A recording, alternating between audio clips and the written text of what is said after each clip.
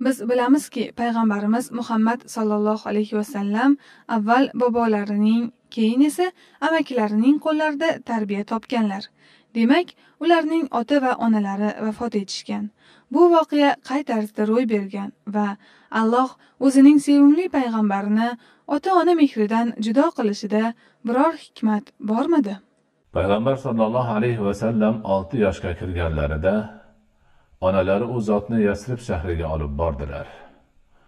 Ona bola birini yosh beva birini tug'ilmasdan turun yetim tashlab ketgan mahbublari abdulloh ibn abdul muttolibni qabrining ziyoratiga borgan edilar.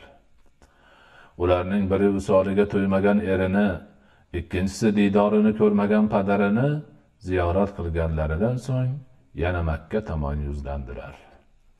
Yo'lda al avba nomli joyga yetganlarida omina ham vafot topdilar.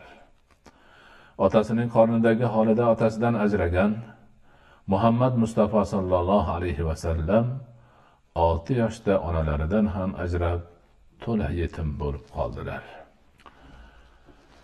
Dunyo tarixida hali yigirma yoshga yetmagan er xotindan bola yetim qolish hodisasi ko'rilmagan bo'lsa kerak. Bu ham alloh taoloning kelajak payg'ambar kamolati uchun ko'rgan hikmatli chorasi bo'lsa ajab emas g'urbatda onadan ajrab qolgan bolaning xodima ummu ayman al habashiya makkaga olib kelib bobosi abdul muttolibga topshirdi.